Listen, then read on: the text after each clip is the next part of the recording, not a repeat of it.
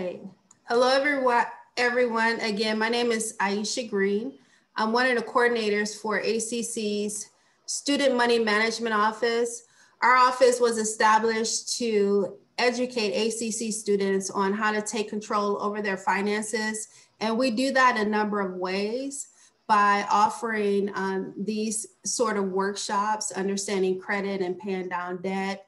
We offer a number of workshops. We partnered with our effective learning classes. And so we go into the um, EDUC 1300 uh, classes and conduct these uh, sessions. And from those conversations, students are invited to schedule an individual coaching session with our office. And during the coaching sessions, we work with students with creating semester spending plans, um, saving for their financial futures. If students need guidance on how to open up a Roth IRA, if students want to learn how to establish credit, improve credit, pay down debt. We work with students in, uh, in that capacity. We also have a peer money mentor program where we take a select group of ACC students and train them on various money management topics. And at the end of the program, those students are given a $600 stipend from our office. Uh, we've partnered with University Federal Credit Union and Trellis Company uh, to incentivize ACC students up to $100 to open up savings accounts with uh, University Federal Credit Union. And we have close to uh, 600, 600 students enrolled in the program and collectively they've saved over $150,000 and we're so excited about that. Um, one of the ways that we're able to stay in contact with our students is through our text messaging program. And what we do with our text messaging program is remind students of financial aid deadlines, payment deadlines, scholarship deadlines, when it's time to register for uh, summer classes, fall classes, and spring classes, we remind them of that. So anytime you receive any sort of correspondence from our office um, asking you to opt into our text messaging program, um, we encourage you to do so. This is our team, and our goal is to integrate financial education into every aspect of the student experience, which is why we have the type of programming uh, that we have. Uh, we encourage students to connect with us on our one social media platform, which is uh, Instagram. Our Peer Money mentors create content specifically for our um, uh, Instagram page for ACC students. And then I would encourage you all to explore our website, austincc.edu backslash money. We have some amazing resources on our website and a, um, uh, an awesome uh, online learning platform that can take you a bit further and give you a really good foundation uh, in the area of financial wellness. And then during the course of our conversation today, if you feel uncomfortable asking a question, you can send us a question at money at austincc austincc.edu and we'll we'll respond to that question. My director actually looks at that uh, email um, every single day, and if it's something that I can um, assist with, she'll send it over to me. So again, um, we're excited to be here and to uh, share this information uh, with you. So this presentation is going to be a two-parter. Hopefully you're able to um, follow along with your computer and take some notes. I encourage you to take some screenshots. It is packed with a lot of information, which is why I would encourage you if you want to learn more, you need some assistance uh, to schedule an individual coaching session with me. I've opened up some dates um, in April as well as in May. And so we can work one-on-one uh, to whatever it is that you want to cover as long as it's a financial uh, wellness topic. So the first part of the presentation, we're gonna talk about credit, like everything and how it impacts you. Um, and then the second part, how to pay down debt and how to get it paid down quickly so you can free up that money to save and to also um, invest. Uh, okay, so let's get started. Um, so the first part, how does credit work? What's in your credit report? How to establish credit? We'll talk about how to improve your credit, uh, credit scores and more, credit myths busted. I love busting credit myths. And then we're gonna look at how do you go about paying down debt. So the first question, and you can put your responses um, in a chat, is why do you think excellent credit is important? Why do you think excellent credit is important? And you can put your responses in the chat. And then Trish, if you can read some of the responses uh, for me. Once they come in, why do you think excellent credit is important? You can put it in the chat or you can take yourself off mute.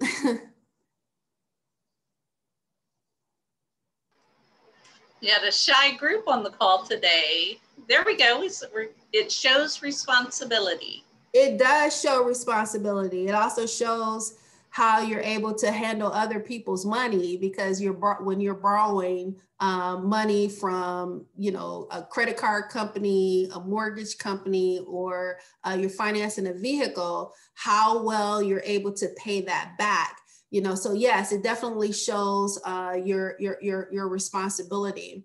And what else do you have trish we have better interest rates that's and, right yeah go ahead and you can get a car without issues that's yeah. important yeah, it is. That is important. So yeah. So what I tell students is that when you have excellent credit, so you can get things when you have good credit, fair credit, you know um, you can you, you still can get things but when you have excellent credit you get the premium interest rates you're not charged a whole lot to, to finance things and that's why uh, you want to um, aim for excellent credit especially before you make major purchases like financing a vehicle or uh, buying a home. You know, we tell students that your credit can impact your quality of life because it can affect where you live, your stress levels, and it could be the difference between having an affordable lifestyle and a super expensive lifestyle. And a super expensive lifestyle, you know, it impacts so many things. So, say for instance,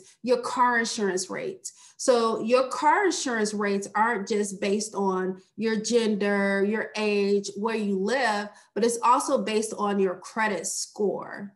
Okay, so your car insurance rates are also based on your credit score. And then 25% of employers will pull a modified version of your credit report. And this is so important because we work hard in school, um, we position ourselves to uh, get promotions and to advance our career.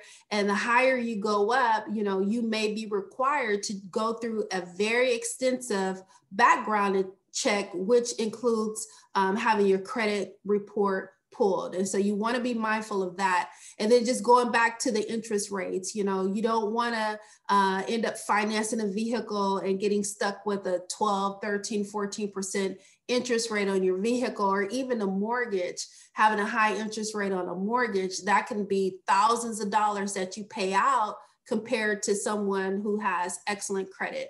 So your credit can impact so many things, which is why it's, it's important, in my opinion, for students to establish credit while they're in college. And so we can help you with that. How does credit work? So in, in the middle of this screen here, you see the names of the three credit reporting agencies, Experian, Equifax, and TransUnion. You know, they run the game when it comes to credit. And so your mortgage lenders, your credit card companies, um, they all report how you're um, able to uh, how, how you make your payments so if you're paying on time if you're paying late uh, any sort of uh, credit that you have out there as far as loans all of those things are going to be reported to the three credit reporting agencies. And then the other thing that you need to be aware of um, would be delinquent accounts that aren't considered, you know, accounts that you're necessarily financing. So say for instance, um, your utilities, um, if you or cable. So if you become delinquent or default on your um, utilities or on your cable bill, they'll report that information to the three credit reporting agencies. Uh, say, for instance, if you're paying rent on time or you're paying your phone bill on time, uh, that's not going to be reported to the three credit reporting agencies. But if you go delinquent or, or if you default on that, then it will be reported. The other thing that you want to be aware of is that they're always capturing your, your personal information. So that's your name, date of birth, social security number, that sort of thing. And so if you have a common name, um, especially if you have a common name, you definitely want to go through your uh, credit report with the fine tooth comb because these um, creditors, when they send your information over uh, to the three credit reporting agencies, uh, they send it over in a batch file and sometimes errors can happen. And so if you have a common name, definitely go through it with the fine tooth comb. And then if you're a male um, and you share a name with your dad, so if you're a junior, uh, you definitely want to look at your credit report and make sure your dad's information isn't showing up on your credit report. Now, your credit report, we call it like your, your, your college transcript, you know, all the classes that you've taken, right? All the credit you've taken out and the grades that you received in those classes, right? Um, and your grades would be just based on how you're um, handling your uh, credit limits and your payment history. And then based on the information uh, that's in your credit report, uh, each of these entities will assign you a credit score. And as you can see, these credit scores are different because you know there is not a requirement for you know a particular creditor to have to uh, report your information to the three credit reporting agencies and so some will report say for instance to experian and equifax and may not report your information to transunion transunion and so this is why it's important um, to look at pulling all three of your credit reports. Uh, right now, because of COVID, the you can you can pull your credit report uh, once a week at no cost. Um, before COVID happened, we would tell students, you know, you would want to pull your credit report in three to four months increments. So say for instance, you pull Experian, wait three to four months, pull Equifax, wait three to four months, and then pull TransUnion. And then that way you're able to monitor your credit uh, throughout the year and you don't have to pay for a credit monitoring uh, agency to do that for you. Where do you go to pull your credit report? You want to go to annualcreditreport.com. I know a lot of students like to go to Credit Karma, but you cannot get all three credit reports at Credit Karma. So to get all three of your credit reports, you want to go to annualcreditreport.com. Now, again, um, because of COVID, you can um, pull your report more frequently um, than before COVID. Before COVID, one free credit report a year. Uh, since COVID, you're able to pull your credit report at least once a week. And I think it has to do with like all the scams and things that are happening um, because of COVID and people calling uh, to get you to uh, provide information for vaccines and, and things like that. And so they just want to be, they want you to be super careful and try to stay on top of um, monitoring your credit. Now, what's included in your credit report? This is a sample of um, a, an Experian uh, credit report. And like I said before, it's your personal information. So you definitely you want to make sure that they don't have you living in um, a city or a state that you've never lived in before. So that's important. Uh, you want to make sure your name is spelled correctly. Uh, they don't have your date of birth off, uh, that sort of thing. Um, and then some of the, the activities that shows up on your uh, credit report would be like bankruptcy or if you owe back child support that will show up on your credit report um, as well.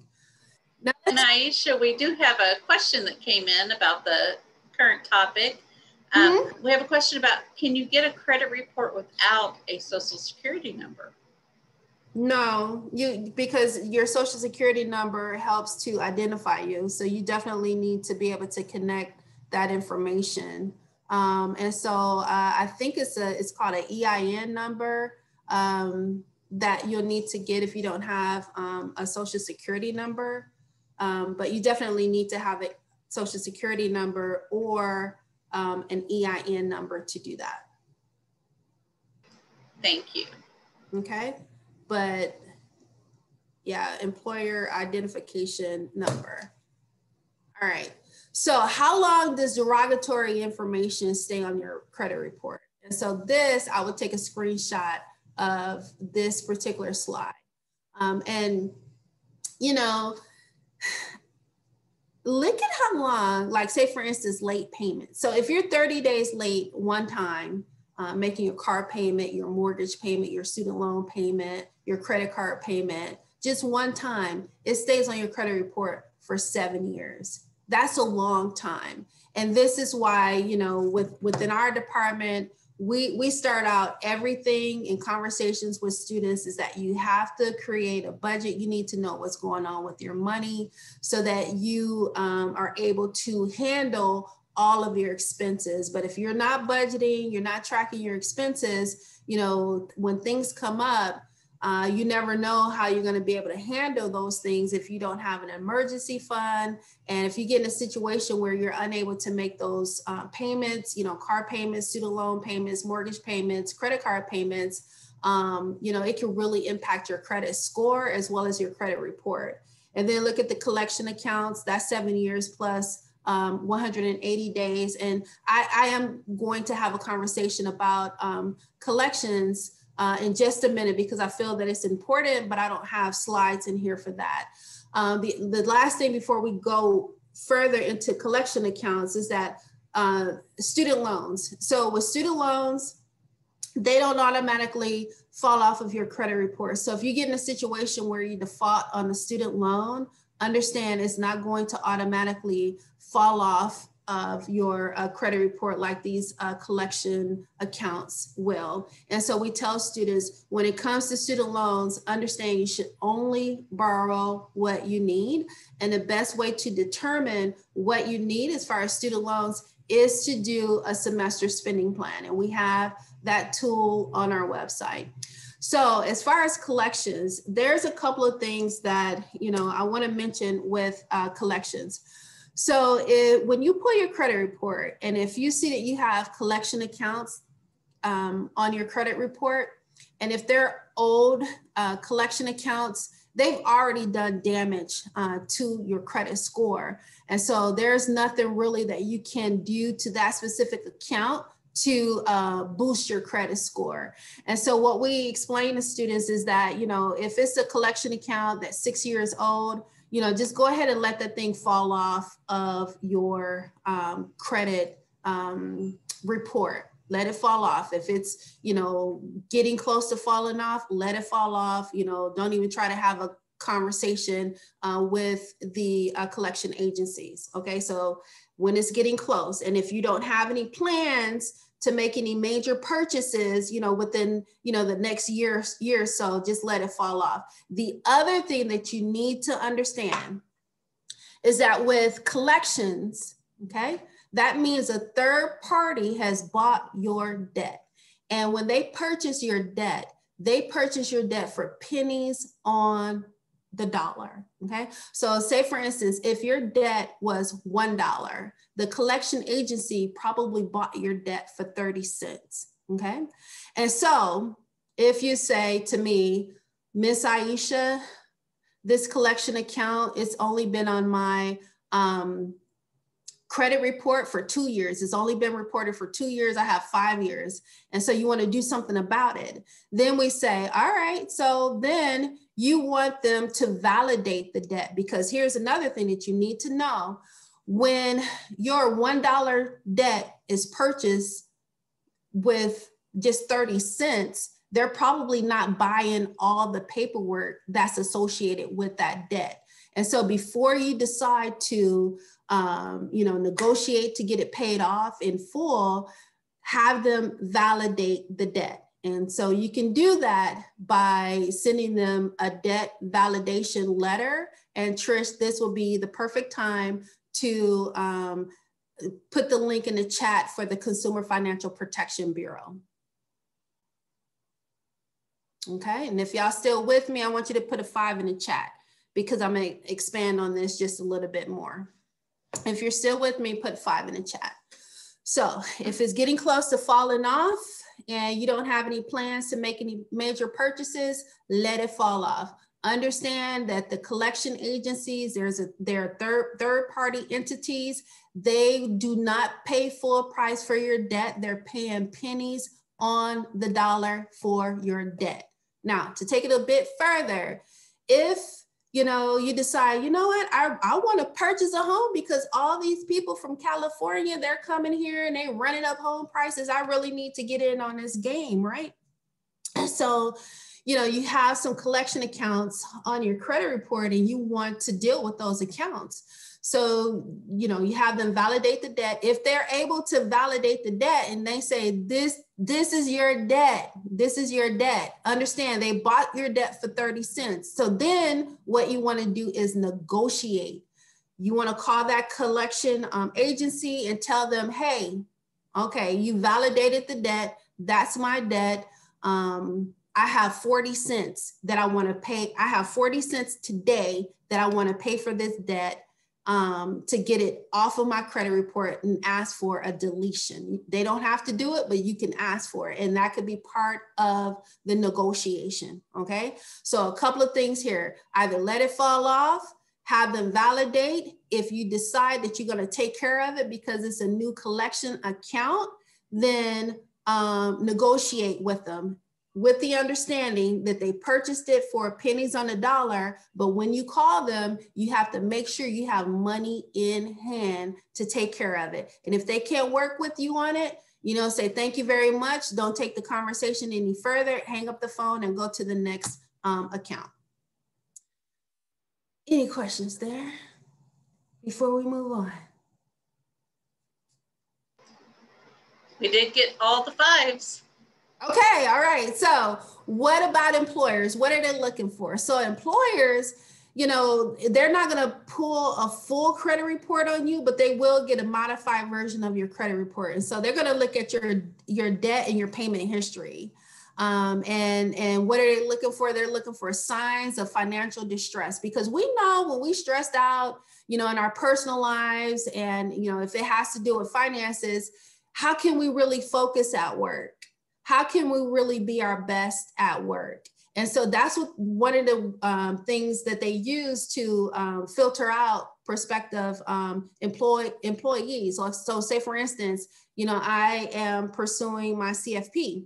And so whenever I get ready to uh, complete my certification, do the test and all that, they're going to do a background check on me. They're going to check my credit report. And they should check my credit report because I'm working with other people's money. Uh, my husband is an NFL uh, agent, and part of um, keeping his certification every year they do an extensive background check on him if you're looking to go into cybersecurity or you know some you know tech uh, company and you know if, if they're having to expose you to their company trade secrets you you better bet that they're going to do a background check on you even in the military to get certain security clearances. You know you want to have um, your um, uh, credit where it should be. And i like this quote from uh, this financial literacy guru uh, that I follow called the Budgetnista. She say, uh, "Stay ready so you don't have to get ready. Stay ready so you don't have to get ready.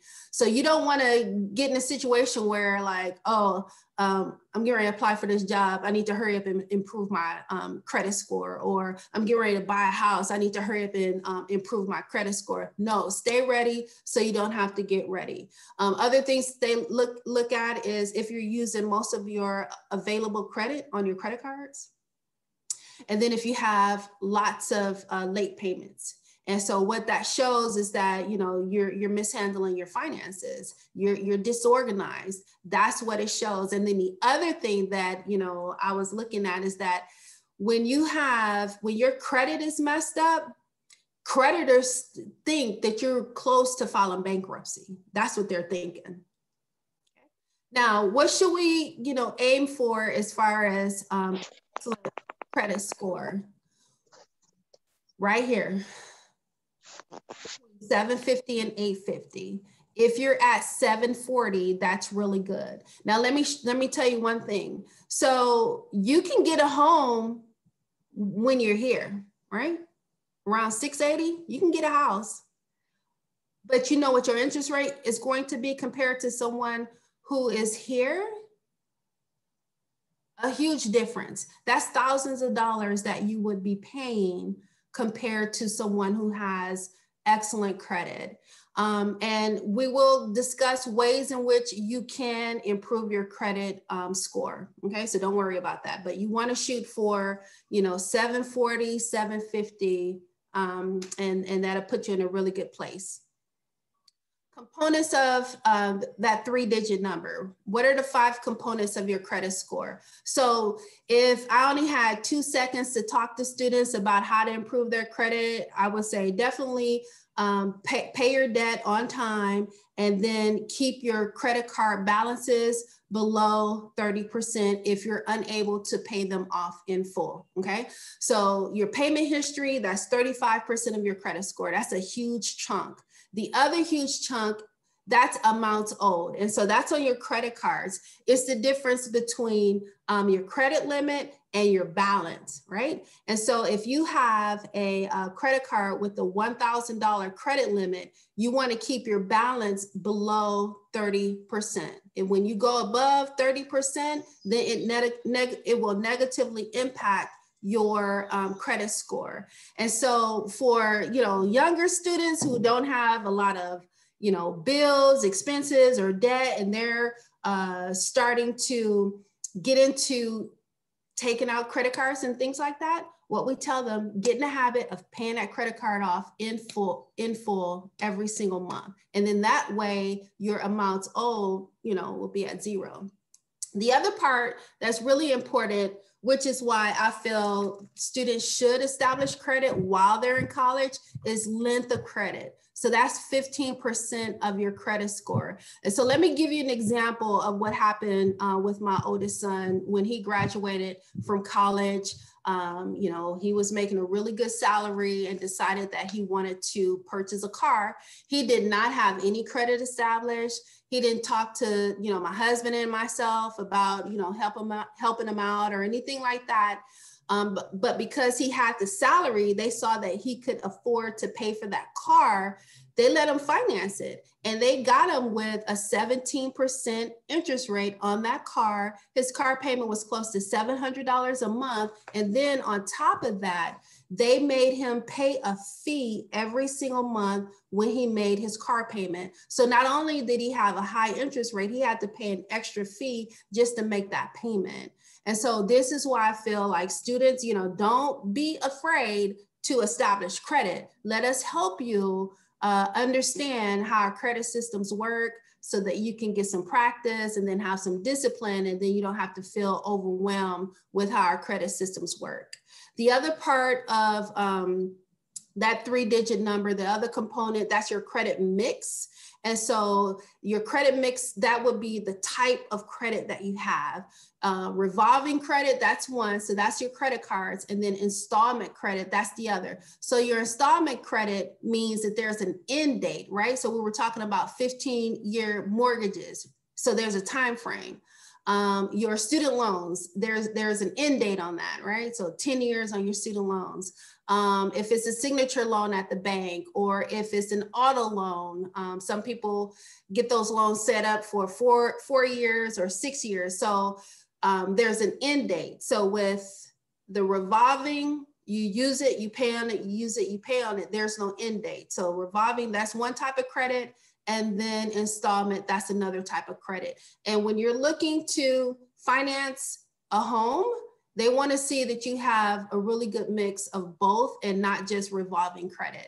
Um, when it comes to new credit, new credit is 10% of your credit score. So anytime you open up new credit lines, uh, it will impact your um, uh, credit by 10%.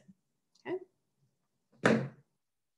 Now, how far can your credit score drop? And so let's look at 30 days late. So if you're 30 days late one time, and imagine that you have um, excellent credit. Let's look at that.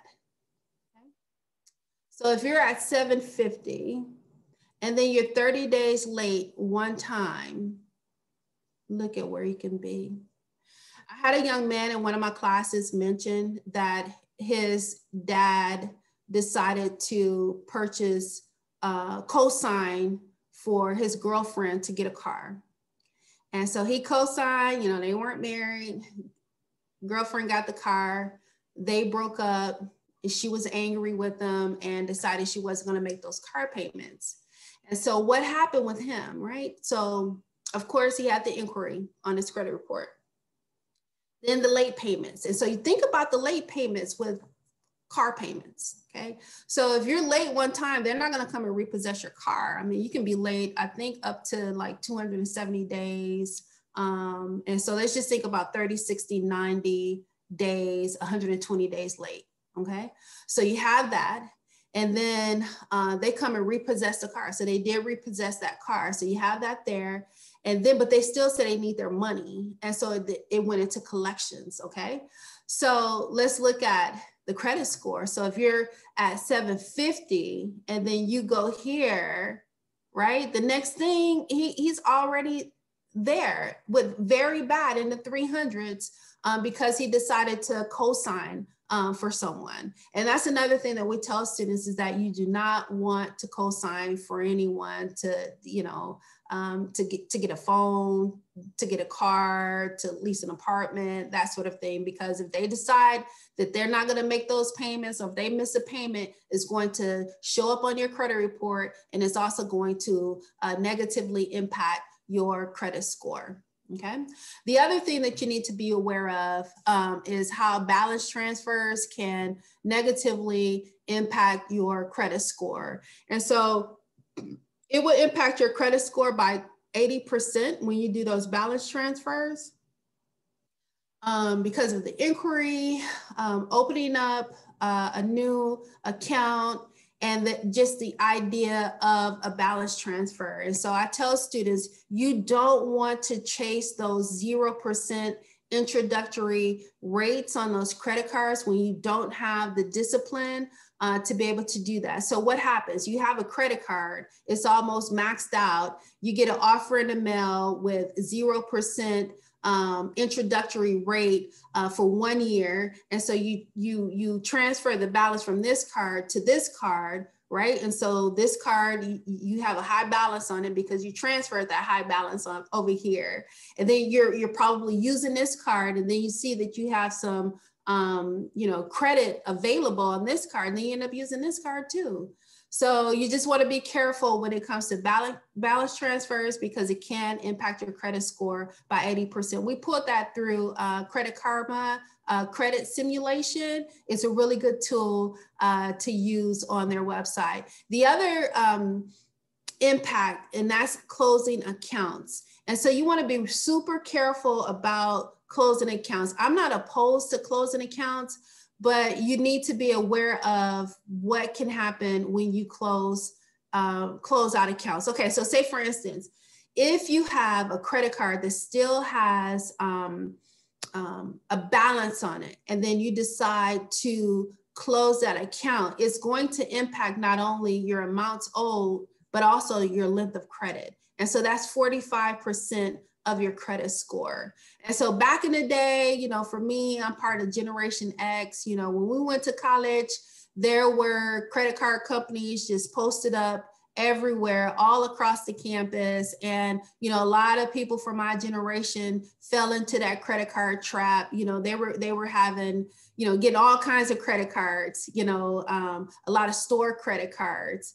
And so uh, when you end up with so many credit cards and then you get exposed to this kind of information you're like oh i don't need all these credit cards. There's too many to keep up with well, you want to be careful about which credit cards you decide to close. And there's a calculation that you can do to determine which credit card to close. And that's why you want to set up an appointment with me using my Calendly. Trish, this would be a great opportunity uh, to drop that link in the chat as well.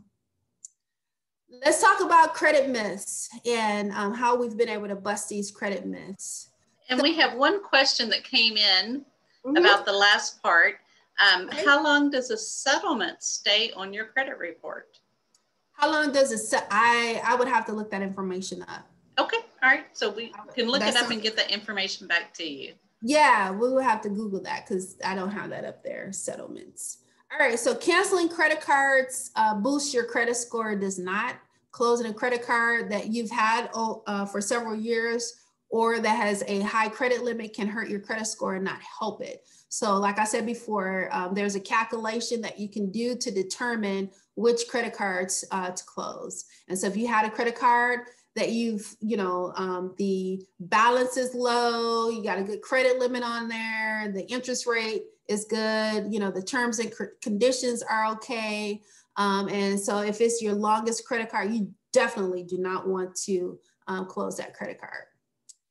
You share a credit score, credit report with your spouse. You do not. Now, you can share credit um, accounts with your spouse. So, say for instance, a mortgage or an auto loan.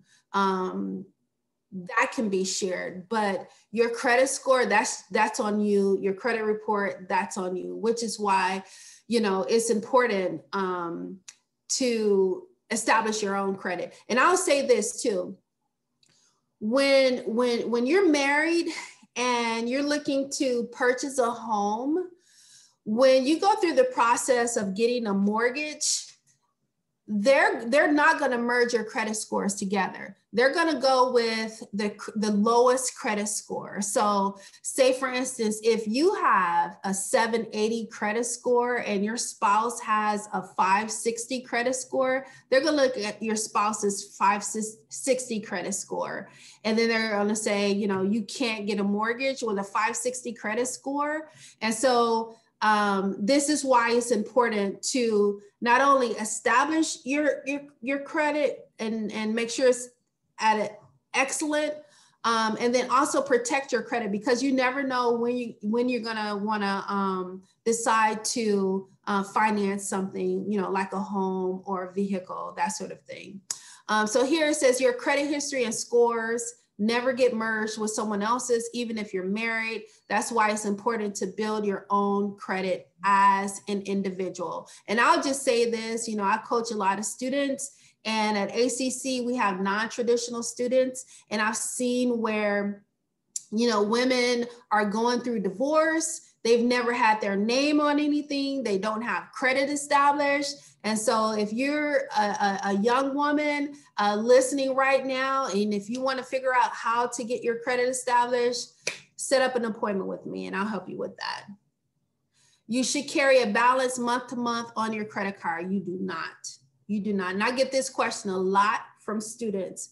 Um, when you carry a balance on your credit card, you pay interest and the interest rates on credit cards are just way too high. You don't want to be giving that money away. And so I feel like, you know, it comes from the fact that if you don't use your credit card over an extended period of time, the credit card company, they can close your credit card. And so this is why we tell students, you know, when you, you when you get a credit card, you want to use it for reoccurring bills that you have anyway, or something that you have to pay anyway, like gas or Netflix, Hulu, Amazon Prime. So you're paying that every single month anyway. And so you're using it every month. But if you have something like, um, say, for instance, a Kohl's card, and how often do you go to Kohl's? Hopefully, not a whole lot, right? But if you're in a situation where you haven't been to Kohl's in maybe um, a year or so and you haven't used that card, there's nothing preventing them from closing that card out. Okay. So, and I think that that's where this myth comes from, where they say you should carry a balance on your credit card and you, you don't have to. Um, if you use it consistently um, every single month and just paying it off in full every single month, uh, you should be fine. Uh, myth number four, checking your credit hurts your score. It does not because you're using a different platform and it's considered a, a soft pull um, or a soft inquiry compared to if you're trying to get something financed or you're trying to get a credit card, then they call that a hard pull and it will stay on your credit report for two years. Okay. So checking your credit um, hurts your score. It does not. All right, so let's talk about credit cards. Um, credit cards can be a helpful tool if used wisely but extremely damaging to your financial health if not used responsibly. And I'll just go back to Generation X, my generation, you know, we were running it up, not me personally, but our generation, we were running it up when it came to uh, credit cards, you know, and, um, you know, it, it, it, it can, like I said before, become extremely damaging. And let me just give you an example. So I had a young man that I had um, was coaching, and we had a number of coaching sessions, and he decided on his own to do a calculation to determine how much he was paying in interest only on his credit cards as well as on the car that he was financing. Now this is interest only. Interest only, he was paying $1,000 a month just on interest. Just on interest just on interest, just on interest. Imagine what you could do with a thousand dollars after going through one of my sessions. Just on interest. Okay. So you don't want to play those reindeer games. We say pay close attention to the terms and conditions of your credit uh, card. So, say for instance, you know, what's the interest rate? What's the statement date? What's the due date? How much will they charge me if I go over my limit? How much will they charge me for late payments? How much will they charge me if I pull money off of my card? You don't want to do those things. You don't want to pull money off your card. You don't want a late payment. You don't want to go over your limit, but you need to be aware of what those terms are. Okay. Um, like we said before, pay off balances in full every single month. And then don't look at your uh, credit limit as an, as an extension of your income. So say for instance, you know, if you're making $45,000 a year and you have a credit card with a $10,000 credit limit, that's not $55,000 that you're working with. Okay. So you don't want to look at it that way. And then stay away from store credit cards. So sometimes I get pushback from students about this, but, you know, I feel strongly you don't need a store credit card. If you have a general purpose credit card, you can use your general purpose credit card anywhere. But if you have a Target credit card, where can, can you use your Target credit card at Walmart? I don't think so. If you can, let me know. Okay. So stay away from store credit cards. How does credit cards work? So let's break this down even further. And you know, for me, when I when I look at this almost every single day, it, it just reinforces why, you know, it's important to look at credit cards as a tool to establish credit. And you don't need a whole lot. Like for me personally, I only have one. I think having three credit cards, it's it's okay. Three, you know, between two and three credit cards is okay. Um, I only need one, and that's me personally because I don't like financing stuff like that. So let's just take a look at how credit cards work. So you have a credit card and you decide to uh, put a laptop and a printer on that credit card, your balance is $2,000. You look at your budget, you're like, look, I can only afford to pay $60 a month on this.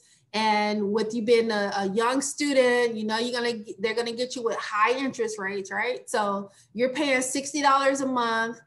Um, your interest rate is $22, 22.94%. So that first $60 payment what goes towards interest is $37.06. What goes towards your principal? Just $22.94. And so if you were to do this every single month, just paying $60 a month, you're not going to use the credit card ever again, but we know that's not the case because most Americans carry a balance on their credit card. But just for this example, you're not using the credit card until you get it paid off. How long will it take you to get that credit card paid off?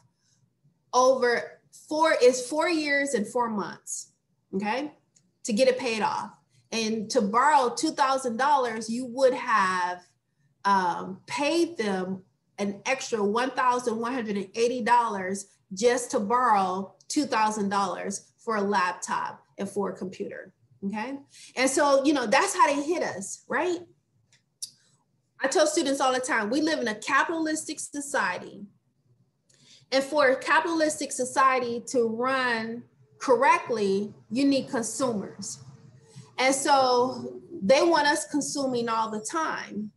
And if you don't have the cash money to consume, they're like, hey, you can consume on credit. you know, those monthly payments, and that's how they get us all the time. And so you just don't want to be in the habit of, you know, I, am I'm, I'm making a monthly payment on my credit card. I got my furniture. I'm making monthly payments on my car. I got my month, monthly payments. It's just taking everything away from your income. And so you don't want to have that happen. So with this, just get in the habit of paying off your credit cards in full every single month. And you do not want to pay this high interest. It's just a lot. It's just a lot of interest. Um, and then these are the interest rates on certain types of credit cards. And if you look at the store credit cards, um, I actually think that they have gone up to 29%.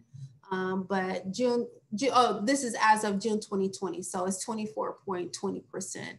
But it'll be different for you know, um, you know, if it's if it's Walmart, if it's Target, uh, if it's Forever 21, Victoria's Secret, it'd be different.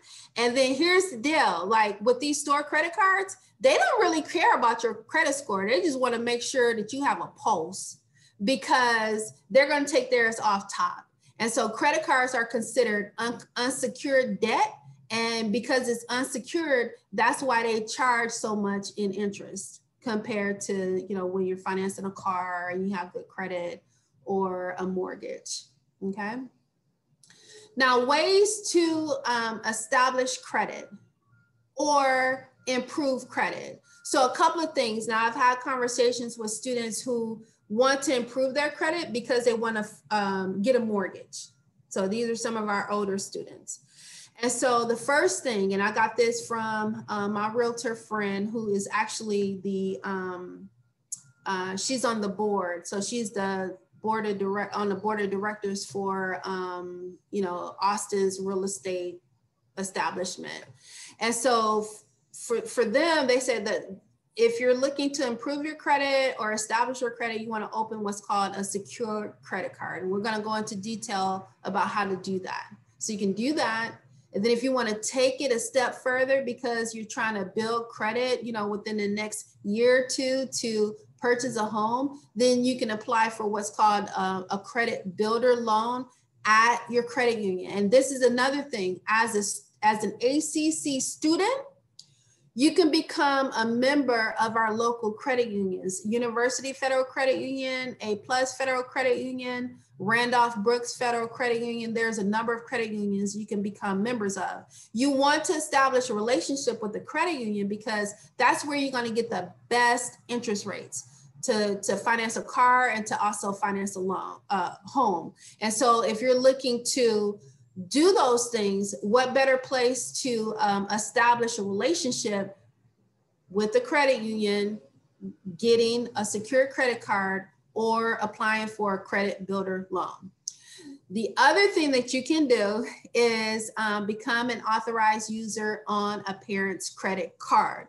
But you need to make sure that that parent is really good with handling their money and they're not going to add you as an authorized user on a credit card where they've been missing payments and you know maxing out the card that sort of thing. So let me just give you an example. So our son when we found out how much his interest rate was you know we decided to make make him as well as our youngest son authorized users on one of our credit cards that had um, a really high credit limit, zero balance, very long credit history. All that was when we made them authorized users, they they they benefited from um, all that credit history, um, high credit limit, low balance. And so what happened with my youngest son when he graduated from college, he graduated with the 830 credit score, an 830 credit score. And so for my my siblings who have um, uh, young adult children, I have them do this for them, you know, because what better way to have, you know, credit established, a credit history established before you start making those moves out into society, okay? Now, secure credit cards. The interest rates on secure credit cards are um, high as well, but I'm gonna show, I'm gonna show you. so why Sorry, you, um, Ayeesha, I, I muted you by accident instead of the new student. So can you unmute yourself now, Ayeesha? Okay, I'm mute. Okay. There we go. All right. Sorry about that. I clicked on the wrong mute button. Did y'all hear what I had to say? No, I'm kidding. Say it again. Say it again. Is it on this slide? So everything on this slide. Okay, so with with with secured credit cards, it's a powerful tool to build credit and then to also rebuild credit. Okay. Um, so what you'll do is you'll put down a deposit. So your deposit, that's going to be your credit limit. And with mo most uh, companies, most um, most banks, credit unions, when you've had that card for six months or longer and you've been using it responsibly, what they'll do is turn that secure credit card into a general purpose credit card and refund you your money. Okay. It works, looks, feels, behaves just like a general purpose credit card. So you don't have to be ashamed of it. Um, and then it does report to all three credit reporting agencies. And it takes about a year to improve your credit if you do it this way. Okay. Because I know a lot of times students will get a credit card and they're being super careful, which is great. It's, it's always great to be super careful, but they're not using it consistently. And then, so the key is, is that you wanna use it consistently and just pay it off in full um, every single month. So let me show you how to do that. So with your secure credit card, oh, do I still have the, oh, come on. What's happening? I can't move my slide anymore. Um, you want to stop share and share again to see if that yeah, we'll sometimes do that, that works. We'll do that. We'll do that. Stop share, share again. Okay. Why? Did your computer freeze? I don't know. Let me see. Hold on. Hold on. And we're going to take a pause. If there's any questions that y'all have, we're coming up close to the end of the presentation. If you want to go ahead and put some questions in the chat. So when Ayeesha gets her presentation back up, we'll have a list of questions for her. Okay, so can y'all see my screen now? I know you'll have to hit share screen again. Okay, let's do, let's go here. Share screen. Okay, so here we go. it's not working. What's happening? Uh, I don't know here. That is weird. Do you you want to share it with me real quick and I can share my screen and click through? Well, all right. So I can explain this. Okay. Okay. So with the secure credit card, what you'll want to do is put down your deposit. Your deposit can be between $300 and I think up to $1,000. It depends on, um, you know, where you go through, if it's with the bank or a credit union, okay? And then what you'll do is you'll pick um, a reoccurring bill that you pay anyway. So it could be your Netflix, Amazon streaming service, a streaming service, or your gas. All right. So if it's with a streaming service, you want to put a credit card down anyway. You do not want to put your debit card down. And that's another thing that I tell students. When it comes to making purchases online and doing things online, you do not want to put your debit card down because if somebody steals your uh, account information, they can drain your account and then if you have, you know, um, uh, bills connected to that account, it can really mess you up. And so if you put a credit card down, they steal your information, uh, you're covered. You're covered. Uh, the credit card companies can reimburse you. So you want to be super careful with that. So you have your um, your your secure credit card connected to your Netflix account is auto pay. And so what we say is go to your checking account, you know, with your bank or your credit union, and then do an auto pay from your uh, checking account to that secure credit card. Okay. And then every single month, when you know your Netflix payment uh, is due, you're using a low amount of your credit limit, right? With that reoccurring. So you want to use just a, a, tiny amount. And then every single month, your um, uh, it's being paid from your checking account. So you want to do an auto pay there. And then all of that is being reported to the three credit reporting agencies. So a couple of things. You're not only making the payment, but you're paying in full. And then you're using, you have a low utilization. And so that is what boosts your score. And then because you're doing it every single month, um, they call that the Jumpman card where you can do that. And then I say put the put the put the card in the drawer and don't use it for anything else. You know, uh, just pick one thing uh, that's reoccurring and uh, use it with that card. And so we're at, um, at the hours mark. I still have two hours worth, worth of content to share. we didn't even look at paying down debt, but here's the deal. Um, my Calendly is in the chat. Uh, if you want to learn more or for me to continue with the presentation because you want to learn more, you can set up um, a coaching session uh, with me during the month of April or uh, the month of May.